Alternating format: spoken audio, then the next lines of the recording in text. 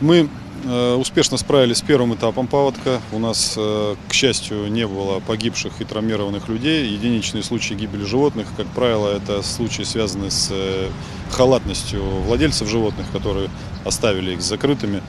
Но еще раз повторяю, это единичные случаи. Поэтому сейчас приступили ко второму этапу. Это ликвидация последствий.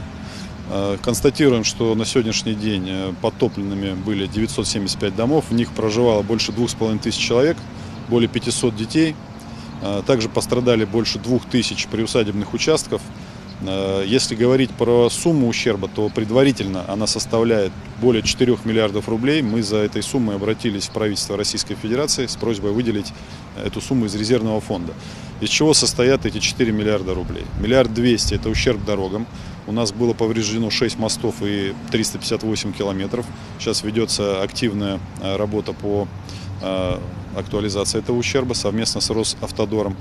1 миллиард 800 миллионов рублей – это ущерб домовладениям, это средства, которые необходимы на капитальный ремонт и на переселение граждан из аварийного жилья. 700 миллионов рублей – это средства, которые мы просим на компенсацию сельхозтоваропроизводителям. У нас поврежден, поврежденными оказалось 41 э, тысяча гектар. И также сумма порядка 300 миллионов рублей – это средства, которые необходимы для единовременных выплат гражданам. Это выплаты за утраченное имущество. 10 тысяч на каждого прописанного э, значит, на приобретение вещей первой необходимости, а также в зависимости от э, количества утраченных вещей из э, перечня, значит, 50 или 100 тысяч рублей на человека. Э, кроме того, действуют э, региональные меры поддержки в размере 10 тысяч рублей на каждого ребенка, прописанного в поврежденном доме, и 30 тысяч рублей на каждое домовладение, где вода поднялась выше пола.